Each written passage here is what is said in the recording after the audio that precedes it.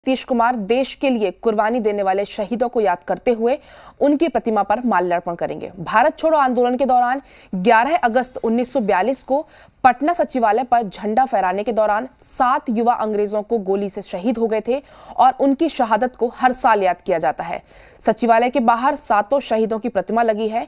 शहीदों ने खुद की जान देकर तिरंगे का मान रखा था और उससे ज़मीन पर नहीं गिरने दिया था और गोली लगने के बाद भी सचिवालय के गुंबद पर तिरंगा फहराया था।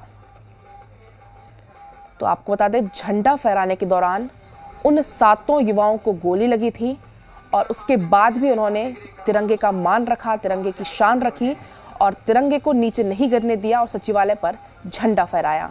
तो आज के दिन हर साल शहीदों को याद किया जाता है, शहीदों को श्रद्धांजलि दी जाती है। सातों युवाओं ने देश की आज़ादी के लिए अपनी कुर्बानी दी थी। तो आपको बता दें, भारत छोड़ो आंदोलन के दौरान 11 अगस्त 1942 को पटना सचिवालय पर झंडा फहराने के दौरान सात युवा अंग्रेज़ों की गोली से शहीद हो गए थे और उनकी शहादत को आज के दिन हर साल याद किया जाता है। सचिवालय के बाहर सातों शहीदों की प्रतिमा भी लगी हुई है।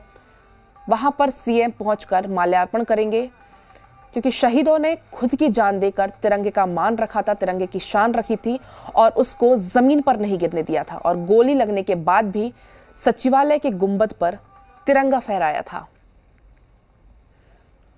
तो आप तस्वीरों में देख सकते हैं किस तरीके से कार्यक्रम का आयोजन किया जाना है। वहाँ पर सीएम पहुँचेंगे और शहीदों की प्रतिमा पर माल्यार्पण करेंगे।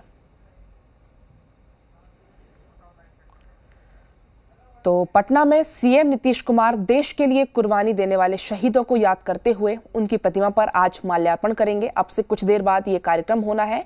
आपको बता दें, भारत छोड़ो आंदोलन के दौरान 11 अगस्त 1942 को पटना सचिवालय पर झंडा फहराने के दौरान सात युवा अंग्रेज़ों से गोली से शहीद हो गए तो उनकी शहादत को हर साल याद किया जाता है। और इस पर अधिक जानकारी के लिए पटना से प्रीतम लाइव जुड़ गए हैं। प्रीतम, भारत छोड़ो आंदोलन के दौरान सात युवा शहीद हो गए थे और उनकी शहादत को आज के दिन हर साल याद किया जाता है। तो आज क्या कुछ कार्यक्रम का आयोजन किया जाना है? देखिए, पलक आज जो कार्यक्रम का आयोजन है इस कार्यक्रम में जो विधानसभा अध्यक्ष है विजय कुमार सिन्हा उनको पहुँचना है, जो जानकारी है। और इसके अलावा जो पटना के डीएम है डॉक्टर चंद्र शेखर कुमार सिंह, उन्होंने मुख्यमंत्री नीतीश कुमार की तरफ़ से जो शहादत स्थल है ये आप मेरे पीछे देखिए, वहाँ पर उन्होंने माल्यार्पण किया है। दरअसल ये वही शहादत स्थल है, जहाँ पे उन्नीस सौ बयालीस में ग्यारह अगस्त के दिन ही बिहार के अलग अलग हिस्सों से जो नौजवान थे, वो पहुँचे थे यहाँ पे पताका ले के उसी दौरान वो शहीद हो गए थे। तो ये जो शहादत स्थल है, वो इस चीज़ की हमें याद दिलाता है कि देश को आज़ादी किस तरह से मिली है और किस तरीके से जो नौजवान जो उस उस वक्त के थे, उन्होंने उन्होंने अपनी जवानी, उन्होंने अपनी अपनी अपना सारा समय जो है, वो देश की आज़ादी के लिए कुर्बान कर दिया था। और 1942 की ये घटना थी और ठीक पाँच साल के बाद 15 अगस्त उन्नीस सौ सैंतालीस में देश को के दिन देश को आज़ादी मिली, स्वाधीनता मिली। तो ये रह कि ये जो हाँ हमारा जो ये जो शहादत शहादत स्थल है, वो हमें इस चीज़ की याद दिलाता है। अभी आप जो देख रहे हैं, ये पटना के डीएम है जो अभी लोगों से मिल रहे हैं। दरअसल ये उनके परिवार के लोग हैं। जो शहीद हुए थे, उनके परिवार के लोग यहाँ पहुँचे हैं और उनके परिवार के लोग से ही जो पटना के डीएम हैं डॉक्टर चंद्रशेखर कुमार सिंह, वो बात कर रहे हैं। तो ये आज का पूरा कार्यक्रम है। यहाँ से कुछ ही देर में कुछ ही पलों में वो विधानसभा भी पहुँचेंगे जहाँ वो माल्यार्पण कार्यक्रम में शामिल होंगे। जी पलक। सर जी।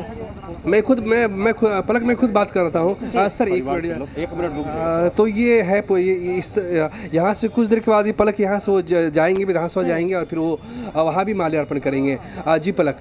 प्रीतम सीएम नीतीश कुमार के पहुँचने का भी कार्यक्रम है वो माल्यार्पण करेंगे प्रतिमा पर। तो कितनी देर बाद सीएम पहुँचेंगे? नहीं नहीं नहीं मैं देखिए जो सीएम नीतीश कुमार है उनके पहुँचने का का कार्यक्रम नहीं है क्योंकि उनकी तरफ़ से जो यहाँ पे कम से कम जो शहादत स्थल है वहाँ पे जो माल्यार्पण हो चुका है इस बात की बाकायदा घोषणा हुई है कि उन्हीं की तरफ़ से जो पटना के डीएम है और उन्होंने माल्यार्पण किया है। देखिए मैं एक तस्वीर आपको दिखाऊँगा हाँ। जो पटना के डीएम है वो जो है जो परिजन के साथ जो है वो एक तस्वीर खिंचा रहे हैं। ये पूरा आप देखिए।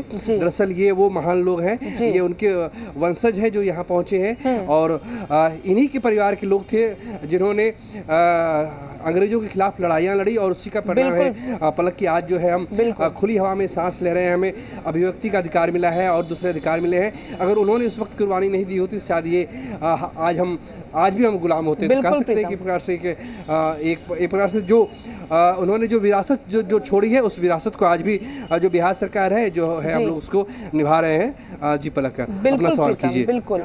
आपका बहुत बहुत शुक्रिया तमाम तस्वीरों के लिए, तमाम जानकारी के लिए। बहुत बहुत शुक्रिया आपका।